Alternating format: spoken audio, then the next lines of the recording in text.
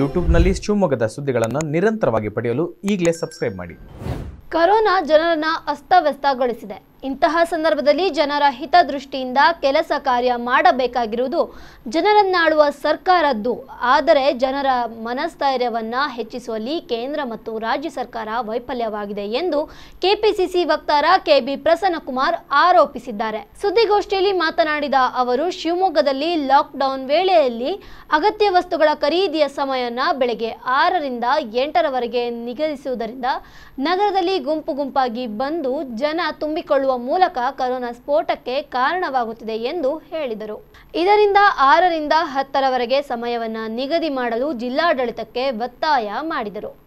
ರೈತರ ಮೇಲೆ ಹಾಗೂ ರೈತರ ಉಪಕರಣವನ್ನು ಮಾರಲು ಸರ್ಕಾರ ಅವಕಾಶ ಮಾಡಿಕೊಡಬೇಕಿತ್ತು. ಆದರೆ ಇವರ ಮೇಲೆ ಪ್ರಕರಣ ದಾಖಲಾಗುತ್ತಿದೆ. ಇವರಿಗೆ ಬೆಳಗ್ಗೆ ಆರರಿಂದ ಹನ್ನೆರಡವರೆಗೆ ಅವಕಾಶ ನೀಡಬೇಕು ಹಾಗೂ ಲಸಿಕೆ ಹಂಚಿಕೆ ಸರಿಯಾಗಿ ಆಗುತ್ತಿಲ್ಲ ಎಂದು ದೂರಿದರು.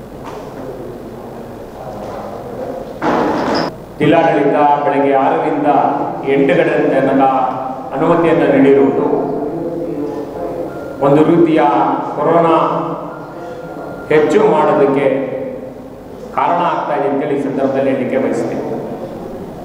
ಎಂಟು ಗಂಟೆಗೆ ಅಂಗಡಿ ಮುಗ್ಗಟ್ಟುಗಳು ಬಾಗಿಲಾಗ್ತವೆ ಅಂತೇಳಿ ಜನರು ಗುಂಪು ಗುಂಪಾಗಿ ಸೇರ್ತಾ ಇದ್ದಾರೆ. ಆದ್ದರಿಂದ ಇದನ್ನು ತಪ್ಪಿಸ್ಲಿಕ್ಕೆ ಆರು ಗಂಟೆಯಿಂದ ಹತ್ತು ಗಂಟೆಯ ತನಕ ಅನುಮತಿಯನ್ನು ನೀಡಬೇಕು ಅಂತೇಳಿ ತಮ್ಮ ಮೂಲಕ ಜಿಲ್ಲಾಡಳಿತಕ್ಕೆ ಒತ್ತಾಯವನ್ನು ಮಾಡಲಿಕ್ಕೆ ಬಯಸ್ತೇವೆ. ಜೊತೆಗೆ ರೈತರ ಸಹಕಾರಿ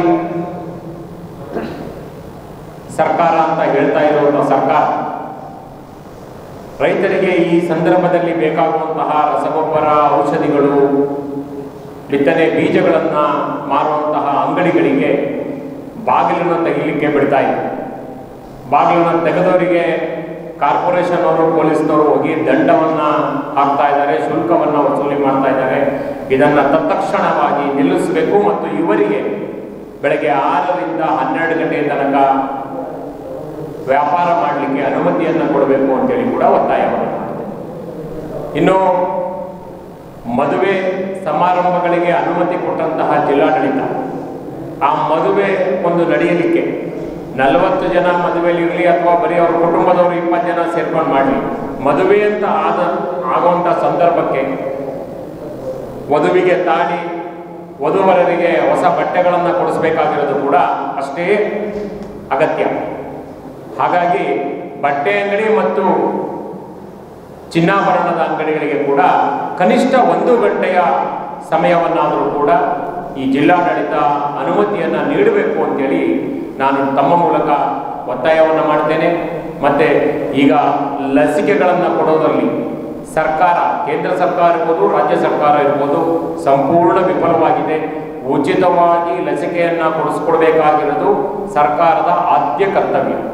ಇಂಥ ಸಂದರ್ಭದಲ್ಲಿ ಪ್ರೈವೇಟ್ನವರಿಗೆ ಲಸಿಕೆಯನ್ನು ಕೊಡಲಿಕ್ಕೆ ಅನುಮತಿಯನ್ನು ಕೊಟ್ಟು ಜನರು ಹಣ ಇಲ್ಲದ ಇಂತಹ ಪರಿಸ್ಥಿತಿಯಲ್ಲಿ ಅಕ್ಕಪಕ್ಕದವರಲ್ಲಿ ಫೈನಾನ್ಸ್ನವ್ರ ಹತ್ರ ಸಾಲ ಮಾಡಿ ಲಸಿಕೆಯನ್ನು ತೆಗೆದುಕೊಳ್ಳುವಂತಹ ಒಂದು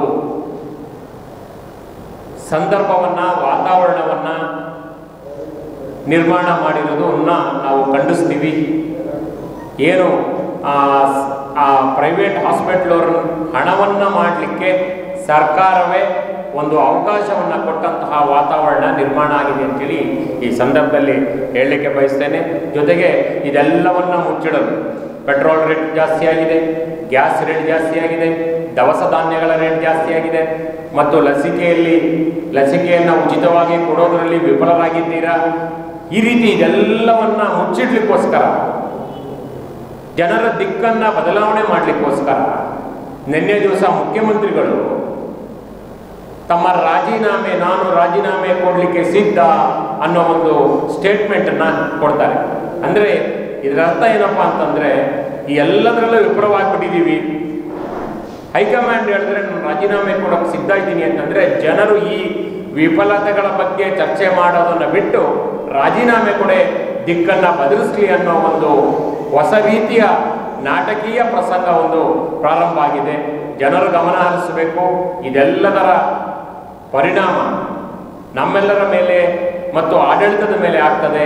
ಮುಂದಿನ ಚುನಾವಣೆಗಳಲ್ಲಿ ಜನರು ಆಯ್ಕೆಯನ್ನು ಮಾಡುವಂಥ ಸಂದರ್ಭಗಳಲ್ಲಿ ಸುಳ್ಳು ಆಶಾಸನಗಳಿಗೆ ಕಿವಿಗೊಟ್ಟರೆ ಏನೇನು ಆಗ್ತದೆ ಅನ್ನೋದನ್ನ ನಾವು ಈ ಸರ್ಕಾರದ ಅವಧಿಯಲ್ಲಿ ನೋಡ್ತಾ ಇದ್ದೀವಿ ಅಂತೇಳಿ ಸಂದರ್ಭದಲ್ಲಿ ಹೇಳಲಿಕ್ಕೆ ಬಯಸ್ತೇನೆ.